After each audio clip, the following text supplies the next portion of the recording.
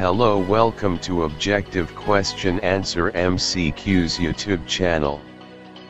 With a positive vibes let's start this video. Question number 1. Choose from the options A, B, C and D given in figure. The figure which shows the correct direction of current. Option A. Option B. Option C. Option D. The right answer is option B.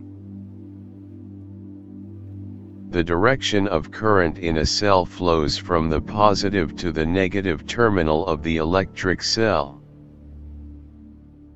Question number 2. Choose the incorrect statement. Option A.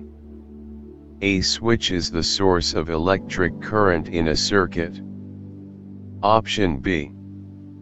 A switch help to complete or break the circuit. Option C.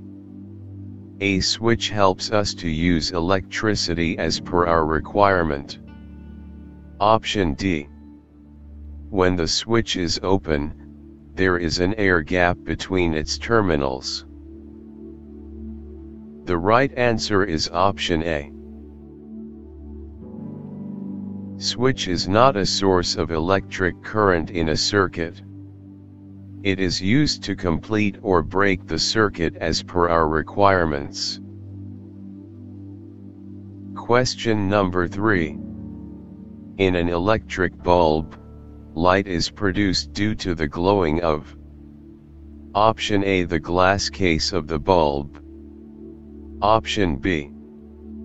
The thin filament. Option C. The thick wires supporting the filament. Option D. Gases inside glass case of the bulb. The right answer is option B. Bulb glows due to the glowing of the thin filament. Question number 4.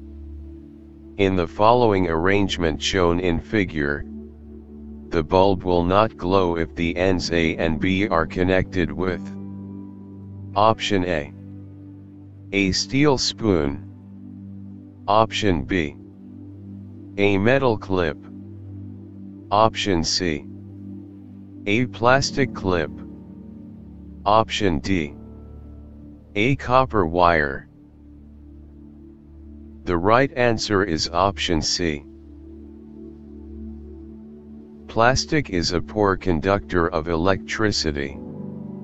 Using plastic clip will break the flow of electricity through the circuit and hence bulb will not glow.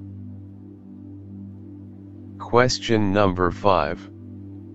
In the circuit shown in figure, when the switch is moved to on position, Option A the bulb A will glow first.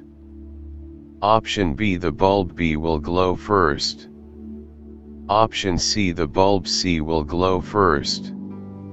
Option D all bulbs will glow together. The right answer is option D. Switching on the switch will make the bulb glow all together. Question number 6. Filament of a torch bulb is Option A a metal case Option B metal tip at the center of the base Option C two thick wires Option D a thin wire The right answer is option D. Filament of a torch bulb is a thin wire. Question number 7. Paheli is running short of connecting wires. To complete an electric circuit, she may use a Option A glass bangle Option B thick thread Option C rubber pipe Option D steel spoon The right answer is option D. She can use a steel spoon because being a metal it will allow electricity to pass through it and complete the circuit.